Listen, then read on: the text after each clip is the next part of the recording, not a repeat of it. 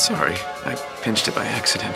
It's good to see you, Jack. You, you look terrible. Kind of amazing, actually.